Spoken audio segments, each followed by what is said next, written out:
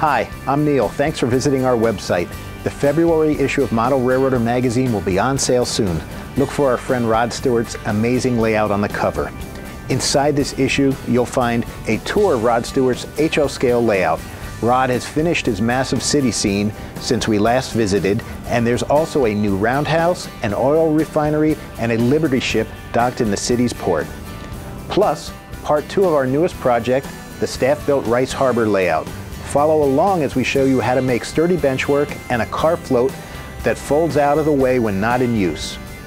11 tips for building a resin freight car kit that can turn an ordinary model into a contest winner, a step-by-step story about putting scale-sized people into a passenger car, how to turn an Atlas kit for a four-story brick factory into a seven-story building, a visit to an N-scale switching layout built into a wood cabinet in a living room.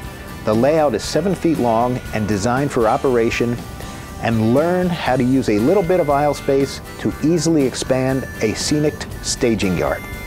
Subscribers can go to our website to watch videos of the construction of our Rice Harbor project, watch reviewed locomotives in action, plus download more than 500 track plans from our exclusive website database. So don't miss the February issue of Model Railroader magazine on sale soon.